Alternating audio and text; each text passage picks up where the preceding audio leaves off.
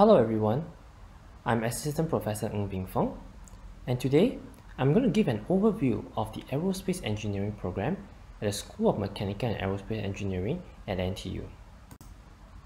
So this is me, in case you need to put a face to the voice, and do say hi to me whenever you see me around in school. Many years ago, just like many of you here, I was looking for an undergraduate degree program to study. And back then, I chose to study aerospace engineering. However, there were many questions in my mind. What do I learn from the program? What will I become after I graduate with an aerospace engineering degree? And to my parents, they were asking the same questions. And to them, when their kids enter university, the kids will study hard, make friends, do group projects. And when I told a stranger that I'm studying aerospace engineering, their first comment was, Oh, there's space so you'll become an astronaut. And to my friends, when they heard that I'm studying aerospace engineering, they thought that I would become a pilot. And to my peers who chose to study other majors, when they heard that I'm studying aerospace engineering, they thought it's going to be very difficult with lots of equations. And with all this, I think that I can really fly. However, what do I really do? So today, I'm going to talk about what the Aerospace Engineering program at NTU is going to offer you. The Aerospace program offers you many things, from the foundations to industrial exposure, global recognition, overseas opportunities, to flexible skill sets. And I'm going to talk about each of them one by one. Let us first look into the Aerospace Engineering Foundations. In this course, we will cover many modules on the fundamentals of flight. Many questions will be answered including who is the father of flight? And you'll be surprised that it's not the Wright brothers. How does an aircraft achieve stability? Why does the aircraft have its current shape? How does an engine work? And how do we quantify the performance of an aircraft?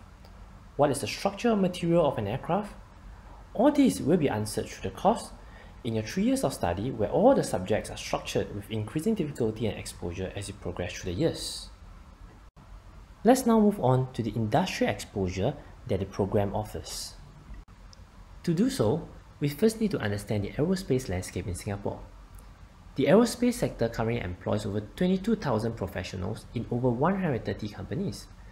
This generates an output of 11.3 billion, which is a significant portion of the 500 billion GDP. The aerospace sector is predominantly MRO, meaning maintenance, repair and overhaul. There are also significant amount of manufacturing, research and auxiliary services. However, what's most impressive of our aerospace industry is that the maintenance, repair and overhaul constitute 10% of the global share. In other words, 10% of the world's aircraft is serviced by Singapore. Imagine this, our population is not even 1% of the global population, yet our aerospace sector captures 10% of this MRO share. So you'll be asking, how are we able to do this? What can we offer that attract all this business? This all boils down to three things. The diverse R&D ecosystem through universities and research labs, strong talent pipeline, which is yourself, as well as the dedicated infrastructure. A case in point is Rolls-Royce.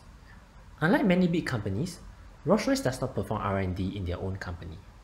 Instead, they park their R&D arm in universities to tap on talent.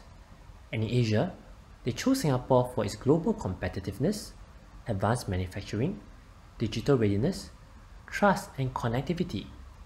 And among the universities in Singapore, they chose NTU. There are many other reasons why they do so, but this is testament of NTU's capabilities and international reputation.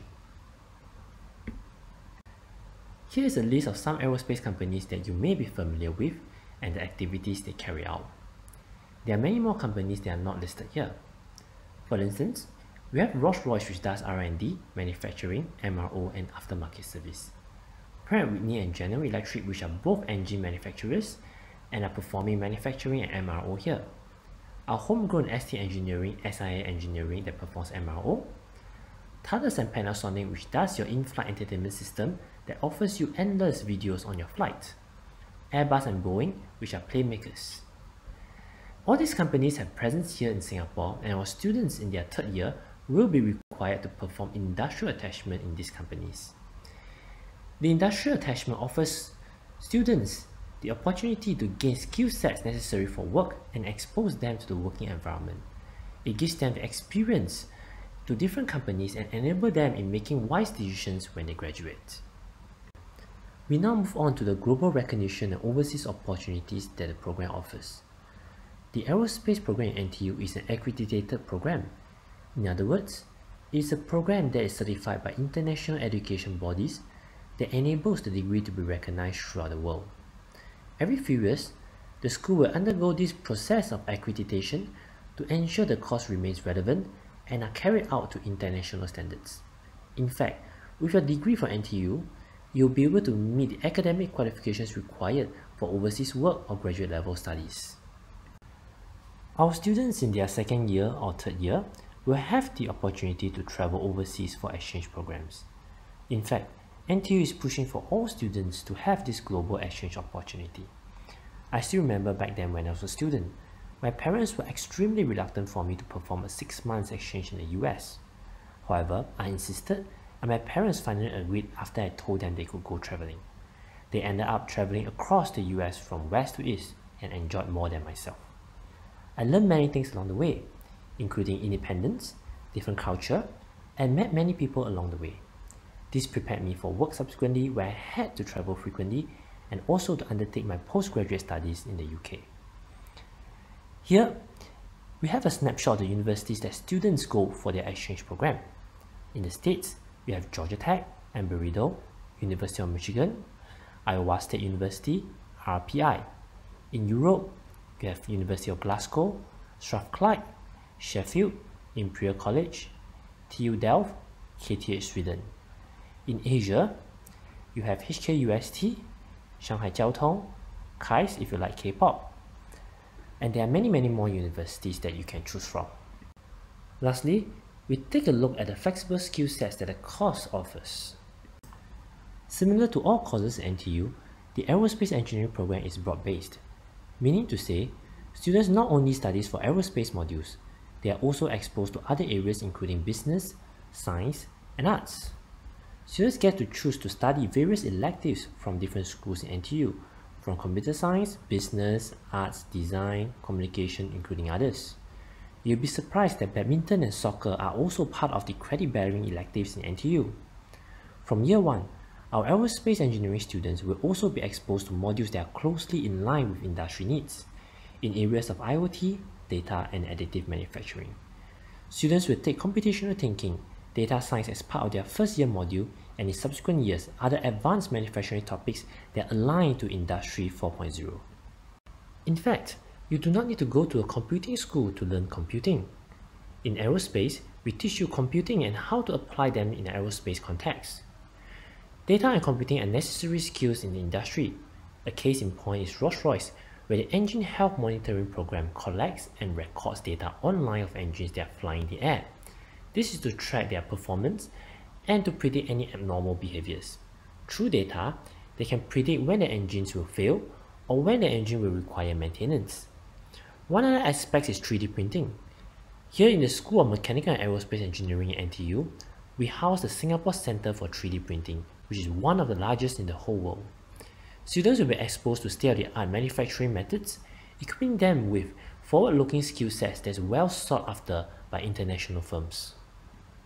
Digital twin is another area which is widely adopted by companies and we train our students for it. This can come through modeling and simulations. It could be fluid structures or thermodynamic simulations. Imagine that an engine is designed and some parts modified. To know whether it works or what is the performance, you will need to build it. However, building and testing is very expensive. Before doing so, you can actually model the engine out in a computer and perform simulations based on physics or data to predict the performances. From there, optimization can be performed to reach a refined design that can be rolled out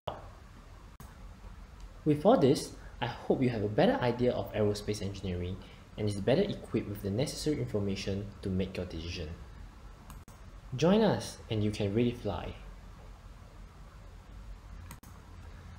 This comes to the end of my presentation. Feel free to email me if you have any questions or approach our friendly outreach officers. In the meantime, stay safe and I hope to see you in NTU. Goodbye.